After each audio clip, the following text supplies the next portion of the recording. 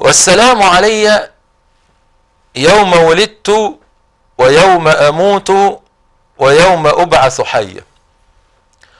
والسلام علي يوم ولدت ويوم أموت ويوم أبعث حيا. هذه هي أشد المراحل التي يمر بها الإنسان. أشد مراحل على الإنسان هي هذه المراحل المذكورة في هذه الآية.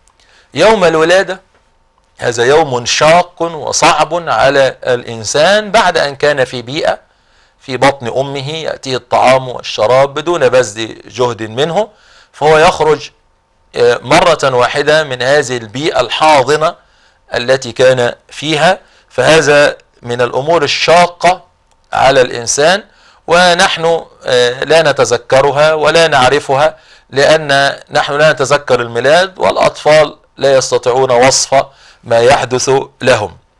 ويوم أموت وأيضا يوم أن يتوفى الإنسان فهذا من أصعب المراحل في حياة في حياة الإنسان. فلصعوبة الموت ولسكرات الموت وإن للموت لسكرات كما قال النبي عليه الصلاة والسلام ولما يكون من بعده الله أعلم به سبحانه وتعالى ويوم البعث ويوم البعث. فالسلام عليه في هذه المراحل الثلاث.